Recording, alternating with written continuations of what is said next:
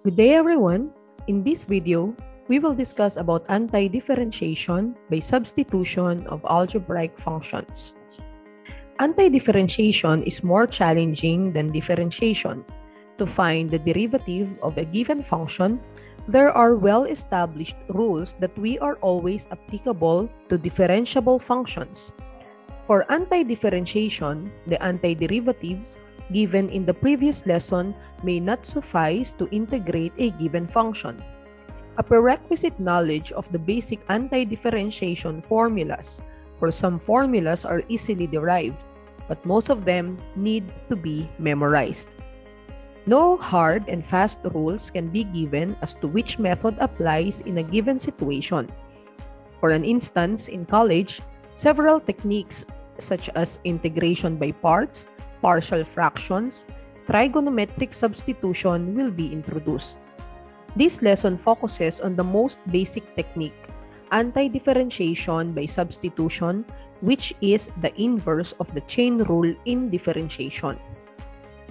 There are occasions when it is possible to perform a difficult piece of integration by first making a substitution. This has the effect of changing the variable and the integrand. Let g be a differentiable function and let the range of g be an interval i.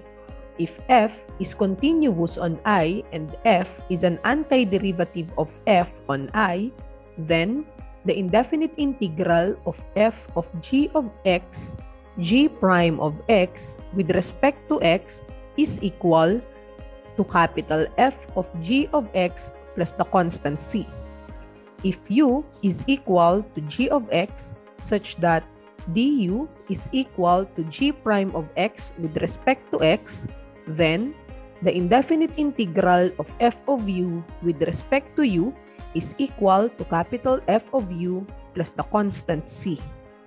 Suppose we are given an integral of the form f of g of x, g prime of x with respect to x we can transform this into another form by changing the independent variable x to u using the substitution u be equal to g of x.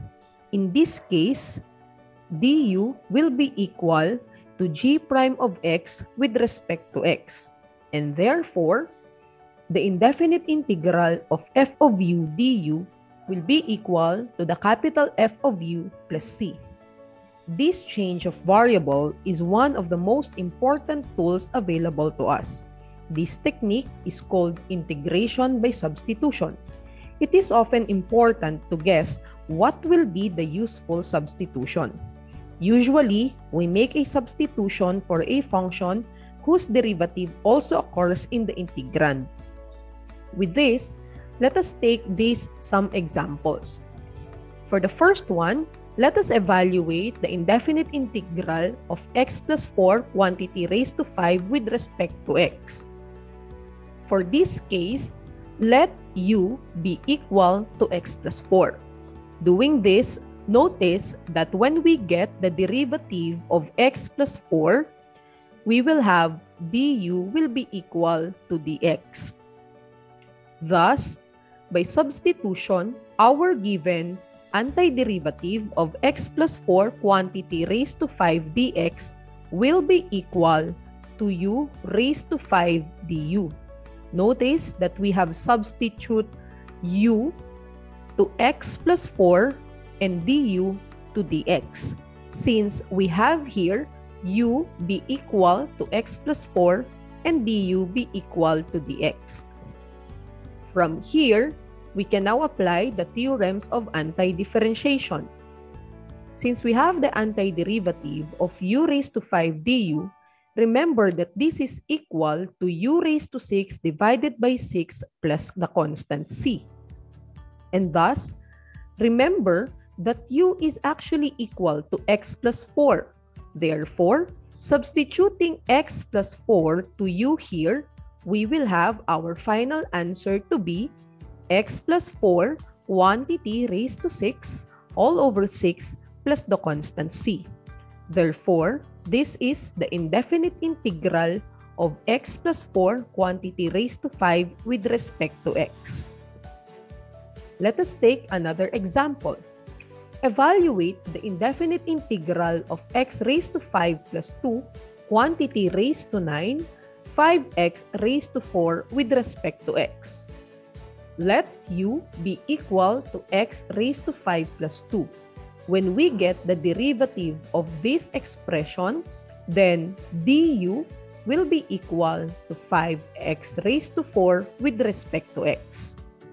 Thus, by substitution, the indefinite integral of our given will be equal to the indefinite integral of u raised to 9 du. Notice that x raised to 5 plus 2 is equal to u. So we will change this expression into u. So we will have here u raised to 9.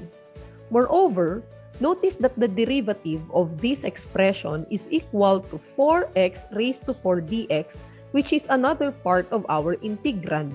So this expression can be expressed as du. Thus, our new expression will be u raised to 9 du where u is equal to x raised to 5 plus 2 and du is equal to 5x raised to 4 dx.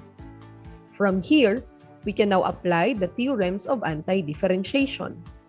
Applying the theorem, the indefinite integral of u raised to 9 du will be equal to u raised to 10 divided by 10 plus the constant c. And remember that u is equal to x raised to 5 plus 2. Thus, Substituting this expression to our u, we will have the final answer x raised to 5 plus 2 quantity raised to 10 divided by 10 plus the constant c. Third example, evaluate the indefinite integral of x raised to 2 divided by the square root of 1 plus x cubed with respect to x. Here, let u be equal to 1 plus x cubed Getting the derivative of this expression, we will have du is equal to 3x squared dx. Looking at the relationship of u and du on our given, notice that from here, we can divide both sides by 3. So x squared dx will be equal to du over 3 or 1 third du. Notice that this expression is on our given. Therefore, by substitution, the given can be expressed as the indefinite integral of 1 over square root of 1 plus x cubed x squared dx. So notice that we have written x squared on the side of dx. Remember that this is u and this is 1 third du.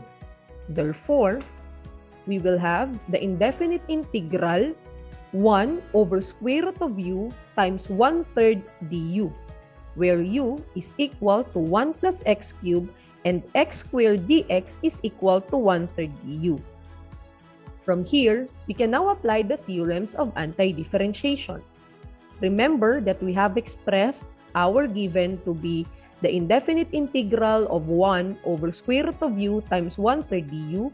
And since 1 third is a constant, according to a theorem, it will become a multiplier of our indefinite integral. So we will have 1 third times the indefinite integral of 1 over square root of u with respect to u. Rewriting 1 over square root of u, we will have the indefinite integral of u raised to negative 1 half. Then, simplifying it, we will have 1 third times u raised to 1 half divided by 1 half plus c. Multiplying 1 third and the reciprocal of 1 half, we will get 2 square root of u all over 3 plus c. Now, remember that u is equal to 1 plus x cubed, so therefore, our final answer will be 2 square root of 1 plus x cubed all over 3 plus the constant c. Another example, evaluate the indefinite integral of x all over square root of x squared minus 1 with respect to x. Let u be equal to x squared minus 1. Now, getting the derivative of u, du is equal to 2x dx. But however, notice that we have here x dx. And we have here 2x dx. So to solve for x dx, we will be dividing both sides by 2. Thus, we will get x dx is equal to 1 half du. From here, we can express our given as the indefinite integral of 1 over square root of x squared minus 1 times x dx. Notice that we have written x beside dx. Remember that this is u and this is 1 half du. So therefore, our given by substitution will become 1 over square root of u times 1 half du. From there, we can now apply the theorems of anti-differentiation. Since we have a constant 1 half here, it will become the multiplier of our indefinite integral. We will have 1 half times the indefinite integral of 1 over square root of u with respect to u. We can express 1 over square root of u in terms of u raised to negative 1 half. So then, we can now apply the theorem of anti-differentiation adding 1 on the exponent of u and dividing it by the resulting exponent, we will have 1 half times u raised to 1 half divided by 1 half plus the constant c. Multiplying 1 half and the reciprocal of 1 half, we will get 1 square root of u plus c. Now remember that u is equal to x squared minus 1. Thus, our final answer will become square root of x squared minus 1 plus the constant c. For our last example, evaluate the indefinite integral of dx over x cube root of ln x. Let u be equal to ln x. By rules of differentiation, remember that the derivative of ln x is equal to 1 over x dx. So therefore, since u is equal to ln x, thus du is equal to 1 over x dx. Looking at our given, we can actually express dx over x cube root of ln x into 1 over cube root of ln x times 1 over x dx. Remember that ln x will become u and 1 over x dx will become du. Therefore, by substitution, our given will be expressed as 1 over cube root of u du where u is equal to ln x and du is equal to 1 over x with respect to x. From here, we can now apply the theorems of anti-differentiation. Since we have 1 over cube root of u du, we can express this as u raised to negative 1 third. And by applying the theorem of anti-differentiation, we will be adding 1 on this exponent and we will divide the term with the resulting exponent. Therefore, we will have u raised to 2 thirds divided by 2 thirds plus c. Getting the reciprocal of 2 thirds, we will get 3 halves times u raised to 2 thirds plus c.